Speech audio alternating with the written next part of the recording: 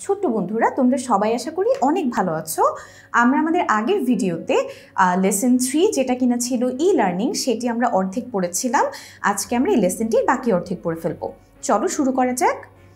What happens in an online education program একটা online শিক্ষামূলক কার্যক্রমে আসলে কী ঘটে থাকে?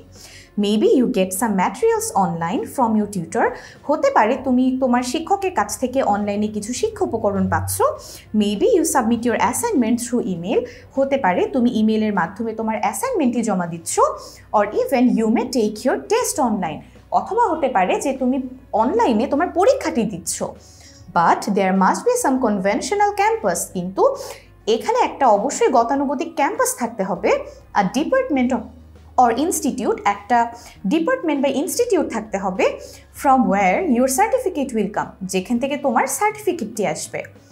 But in e learning as said by global e learning guru doctor Badrul H Khan doctor Badrul H Khan যাকে কিনা আমরা বিশ্বের ই লার্নিং গুরু হিসেবে চিনি, তার ভাষ্যমতে এভরি স্টেপ সাচ অ্যাজ প্রত্যেকটি পদক্ষেপ যেমন রেজিস্ট্রেশন অর্থাৎ নিবন্ধন অ্যাডমিশন ভর্তি ক্লাসরুম এন্ট্রি অ্যান্ড এক্সিট অর্থাৎ যখন কে ক্লাসরুমে ঢুকছে এবং কখন বের হচ্ছে ক্লাস ওয়ার্ক অর্থাৎ শ্রেণির কাজ অ্যাটেন্ডেন্স উপস্থিতি বা হাজিরা ডিসকাশন মানে হচ্ছে গিয়ে আলোচনা উইথ কোর্স মেটস অর্থাৎ তোমার কোর্স মেট যারা আছে, তুমি একই কোর্স করছ, তোমরা যে বন্ধুরা তাদের সাথে একটা আলোচনা ফিডব্যাক ফিডব্যাক মানে মূল্যায়ন বা মতামত এক্সামস পরীক্ষা অ্যান্ড ফাইনালি সার্টিফিকেশন এবং সর্বশেষে যে সার্টিফিকেটটা আমাকে দেওয়া হবে must take place electronically through computer and the internet technology in a virtual campus অর্থাৎ একটা ভার্চুয়াল ক্যাম্পাসে এই সবগুলো যে প্রসেস বা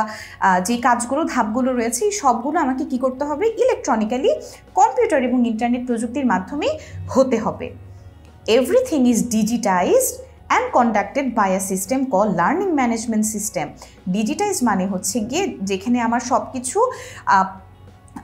ডিজিটাল একটা পদ্ধতিতে করা হয়ে থাকে অ্যান্ড কন্ডাক্টেড মানে হচ্ছে গিয়ে পরিচালনা করা। তার মানে সব কিছু ডিজিটাল একটা পদ্ধতিতে পরিচালিত হয়, যার নাম হচ্ছে গিয়ে লার্নিং ম্যানেজমেন্ট সিস্টেম অর্থাৎ এটি একটি ম্যানেজমেন্ট সিস্টেম বা পরিচালনা করার একটা সিস্টেম যাকে আমরা বলি এল এম এস বা learning management system so online education programmes blend various components তাই অনলাইন শিক্ষা কার্যক্রমগুলো বিভিন্ন কম্পোনেন্ট বা উপাদানের মিশ্রণ ঘটায়। ব্লেন্ড মানে মিশ্রণ ঘটায় অফ ই লার্নিং অর্থাৎ ই লার্নিংয়ে এরকম বিভিন্ন উপাদানের কিন্তু মিশ্রণ ঘটে থাকে।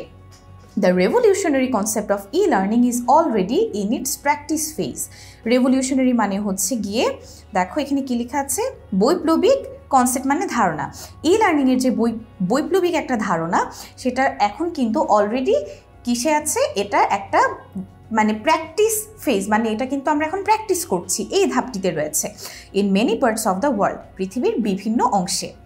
Professor Khan has developed a framework and important literatures on e learning professor Khan একটা ফ্রেমওয়ার্ক মানে হচ্ছে কাঠামো দাঁড় করিয়েছেন and important literatures on e learning তার মানে গুরুত্বপূর্ণ সাহিত্যের উপর একটা কাঠামো দাঁড় করিয়েছেন ই লার্নিং ব্যবস্থায় which has been which have been praise by pundits world wide including Bangladesh যেটা কিনা বাংলাদেশ সহ অন্যান্য বিভিন্ন দেশের যে পণ্ডিত ব্যক্তিগণ রয়েছে, তাদের দ্বারা প্রেজ মানে হচ্ছে প্রশংসিত হওয়া, প্রশংসিত হয়েছে। Professor Khan is specially enthusiastic about the prospect of e learning in Bangladesh এবং প্রফেসর খান বেশ উৎসাহী বাংলাদেশি ই লার্নিং এই ব্যবস্থাটার ব্যাপারে। How would you feel if Bangladesh contemplates South Asia's first virtual university? তোমার কেমন লাগবে যদি বাংলাদেশ দক্ষিণ এশিয়ার প্রথম ভার্চুয়াল ইউনিভার্সিটির পরিকল্পনা করে? Won't it be a pioneering step for us এটা কি আমাদের জন্য একটা অগ্রগামী পদক্ষেপ হবে না? In the world of e learning e learning ই লার্নিংয়ের পৃথিবীতে এটা আমাদের জন্য কি একটা অগ্রগামী পদক্ষেপ হবে না? Let's keep our fingers crossed চলো আমরা আশা করতে থাকি এবং আমাদের যে পরিকল্পনা, এটাকে আমরা ধ্বংস হতে না দিই।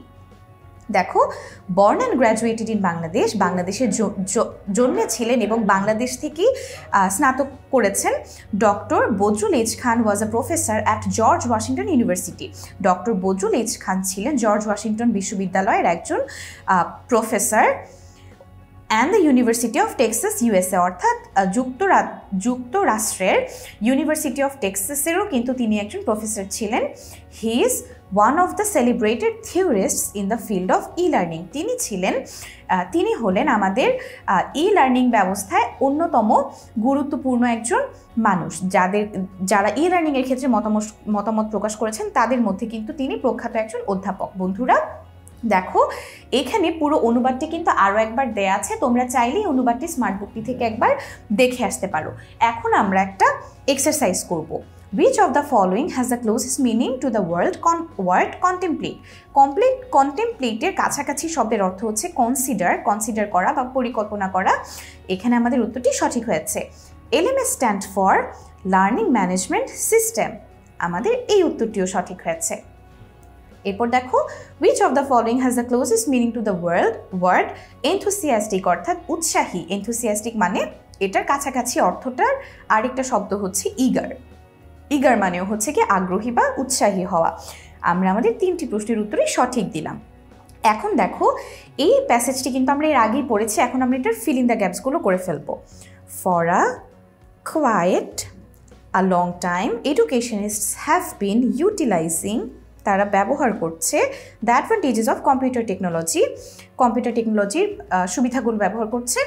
The social networking services have a huge potential to help educationist educationist মানে হচ্ছে শিক্ষাবিদ। They have access to millions of people world wide educationist have notice that a large number of social network users come from young generation specially belong to student community অর্থাৎ ছাত্র সমাজ থেকে এসছে। So by side with computer assisted teaching learning software, online education programs are evolving fairly rapidly অর্থাৎ খুব দ্রুত গতিতে এটা বিবর্তিত হচ্ছে। দেখি আমাদের পাঁচটি উত্তরই কিন্তু সঠিক হয়েছে। তোমরা যারা এই ফিল ইন দ্য গ্যাপসটিতে ভুল করেছ তারা আরও একবার এই প্যাসেজটি পড়ে আসো এবং এখানে আরও একবার ফিল ইন দ্য গ্যাপসটি করে ফেলো তাহলেই কিন্তু তোমাদের উত্তরগুলো সঠিক হবে। তোমরা সবাই খুব ভালো থেকো।